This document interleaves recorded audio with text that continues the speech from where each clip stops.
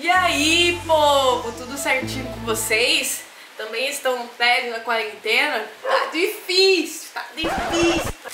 Não tenho mais o que fazer. Tô comendo o dia inteiro. Eu fui feito pra comer.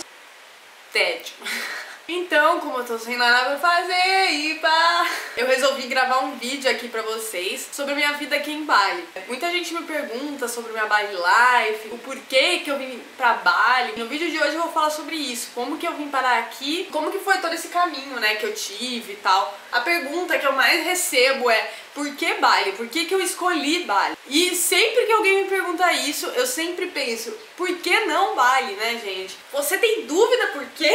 É inexplicável, é inexplicável. Esse lugar te puxa, assim, se você vem de coração aberto, velho, você vai entender do que eu tô falando. Se você já veio, você entende do que eu tô falando. Na verdade, quando eu saí do Brasil, eu não pensei muito antes de sair.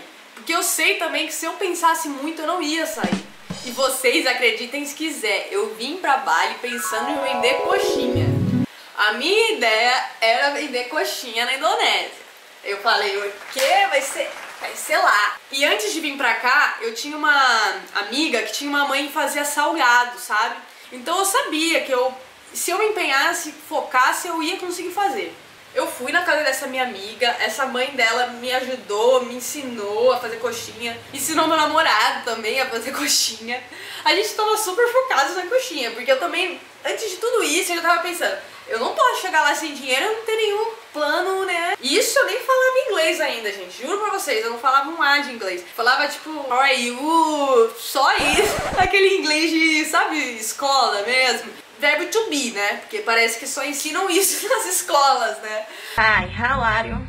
Então eu cheguei em Bali com o sonho da coxinha. Uma pausa aí porque o forninho apitou. Vou mostrar pra vocês, porque eu tô de quarentena, como eu falei, só tô comendo. Vou mostrar o que, que eu fiz. Olha esse prato de esfirra. Gente, pra vocês verem como eu gosto de fazer salgado. Mas eu não vendia esfirra, eu vendia coxinha só. Só que eu gosto de fazer, eu gosto de cozinhar, eu gosto de aprender. Enfim, vamos continuar a minha história, né? Tava aqui na Indonésia, comecei a vender coxinha.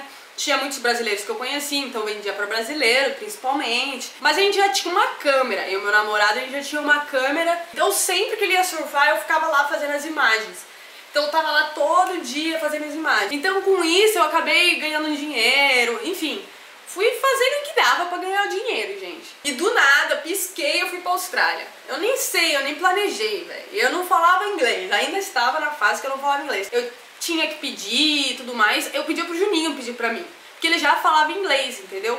Então eu meio que me acomodei a isso. Então a gente foi pra Austrália pensando, né? Dinheiro e tudo mais. Eu corro atrás mesmo, assim, até eu conseguir. Quando eu fui ver, eu já tava lavando o banheiro, eu já tava fazendo bico de garçonete na noite, eu já tava, mano, fazendo de tudo, limpando o chão. Vocês acham que eu tô aqui de férias, ó, sempre assim? Mas, gente, no começo foi muito difícil.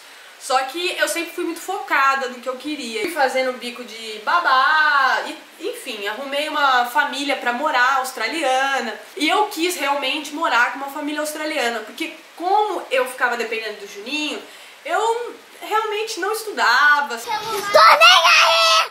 Sabe, eu sabia que eu tinha ele, tava tudo certo. Mas, gente, quando eu tive que passar aperto... Ah, se fudeu! cá estou eu, mudei de cenário, mudei de tudo, porque é sempre assim, quando eu começo a editar e eu vejo que o vídeo está longo, eu acabo gravando de qualquer jeito para avisar vocês que vai ter continuação desse vídeo. Então, se você gostou, se você quer saber a continuação, me acompanha, deixa o like, me ajuda.